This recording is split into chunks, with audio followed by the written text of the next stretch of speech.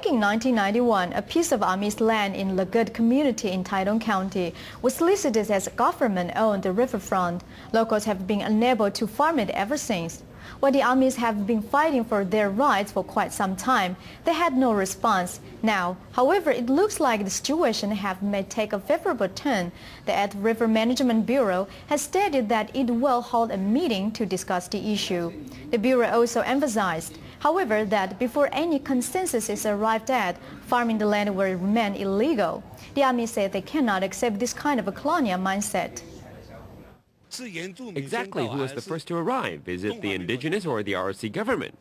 The office has been here only since 1998.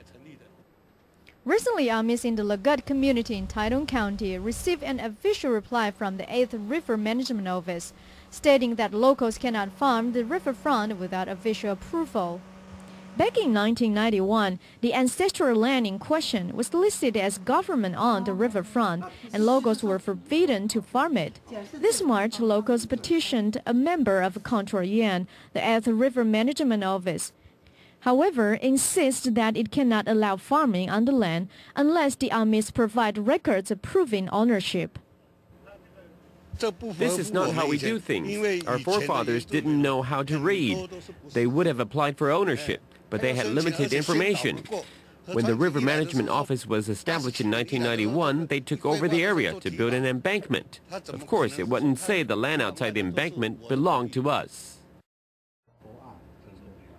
The Amis are not satisfied with the office's reply. The issue regarding the long disputes land, however, may take a favorable turn as the office says it will call a meeting soon to find a solution. I will call a meeting soon to see if we can find a solution.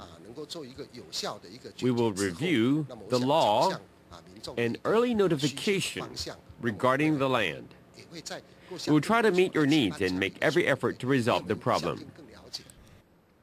It seems as if the Amis have someone to count down. Director Chen, however, warned the Amis to abide by the law before the matter is resolved so as not to violate the law. TITV Weekly.